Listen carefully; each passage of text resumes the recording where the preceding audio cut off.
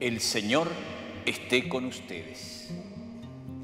Evangelio de nuestro Señor Jesucristo según San Lucas. Gloria a ti, Señor.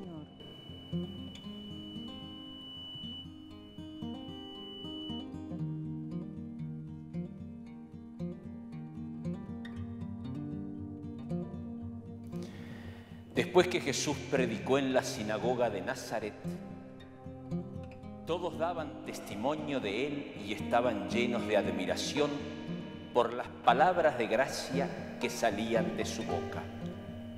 Y decían, ¿no es este el hijo de José? Pero él les respondió, sin duda ustedes me citarán el refrán, médico, sánate a ti mismo. Realiza también aquí en tu patria todo lo que hemos oído que sucedió en Cafarnaúm. Después agregó, les aseguro que ningún profeta es bien recibido en su tierra. Yo les aseguro que había muchas viudas en Israel en el tiempo de Elías, cuando durante tres años y seis meses no hubo lluvia del cielo y el hambre azotó todo el país. Sin embargo, a ninguna de ellas fue enviado Elías, sino a una viuda de Sarepta, en el país de Sidón. También había muchos leprosos en Israel en el tiempo del profeta Eliseo, pero ninguno de ellos fue sanado, sino Naamán el sirio. Al oír estas palabras, todos los que estaban en la sinagoga se enfurecieron y levantándose lo empujaron fuera de la ciudad hasta un lugar escarpado de la colina sobre la que se levantaba la ciudad con intención de despeñarlo. Pero Jesús, pasando en medio de ellos, continuó su camino. Palabra del Señor.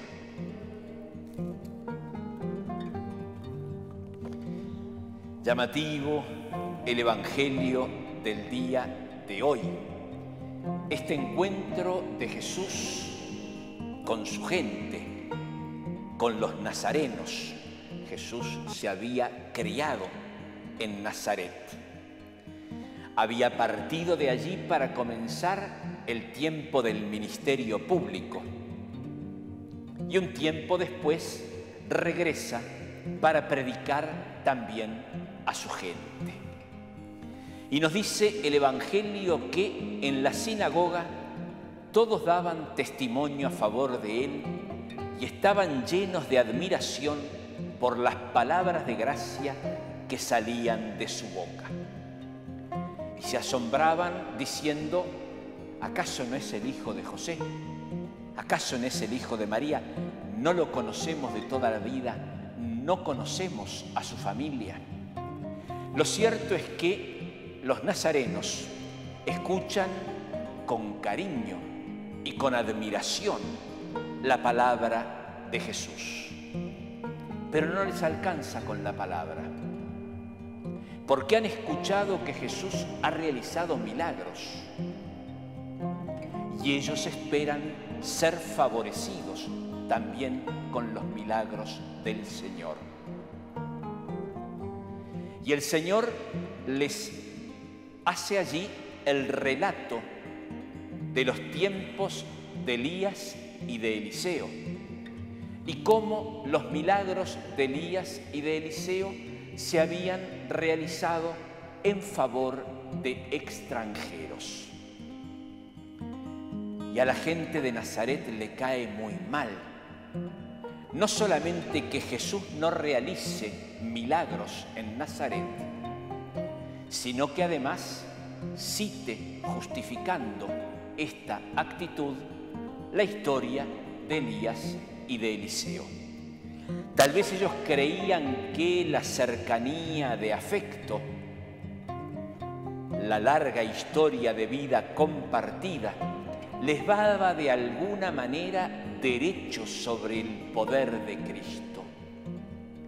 Creían que de alguna manera Jesús estaba obligado a los milagros. Y Jesús tiene que recordarles que Dios hace sus milagros cuando quiere, donde quiere y en favor de quien quiere. Y que no hay posibilidad para el creyente de reclamar el milagro como si fuese un derecho. El milagro siempre es una gracia, siempre es un regalo gratuito. Pero tal vez hay algo más profundo que tenemos que aprender. Y es que Jesús no fue enviado por el Padre para hacer milagros.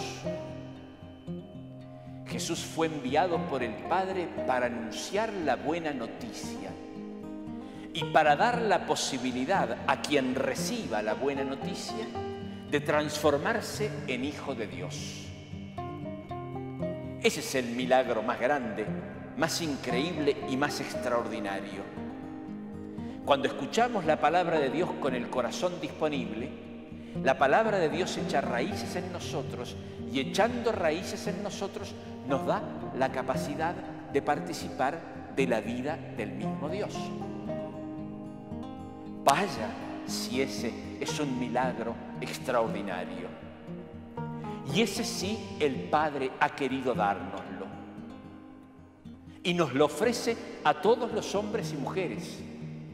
La palabra de Dios quiere resonar en toda la extensión de la tierra y a lo largo de toda la historia de la humanidad, para que ningún hombre y ninguna mujer pierda la oportunidad de hacerse familia de Dios, de participar de la vida divina. Y habiendo recibido nosotros ese increíble favor de Dios, ese regalo extraordinario de Dios, muchas veces, sin embargo, como los de Nazaret, andamos reclamando milagros, andamos pidiendo más como si no se nos hubiese dado todo en Cristo Jesús al darnos la vida divina.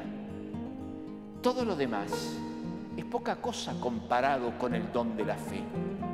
Todo lo demás es poca cosa comparado con la posibilidad de vivir la vida con Dios. Todo lo demás es secundario. Si yo tengo la oportunidad de vivir cada momento de mi vida tomado de la mano del Padre y compartiendo la vida del Hijo, siendo Hijo en Jesucristo.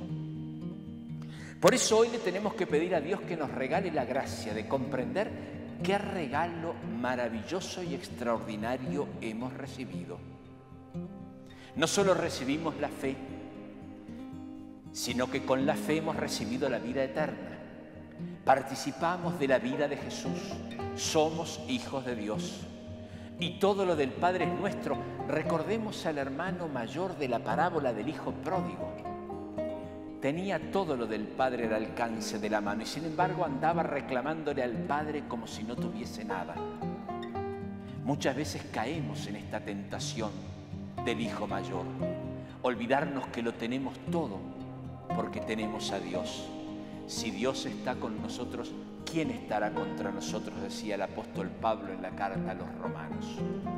Que Dios nos ayude a comprender que por el bautismo, por la fe, lo hemos recibido todo. Somos hijos de Dios. Somos herederos del reino de los cielos. Seguimos siendo hombres y mujeres en la historia. Seguimos teniendo necesidades. Tenemos posibilidad de pedir lo que sea al Padre. Pero no tenemos derecho a enojarnos cuando no recibimos aquello que deseamos, porque hemos recibido infinitamente más, porque somos hijos de Dios de verdad.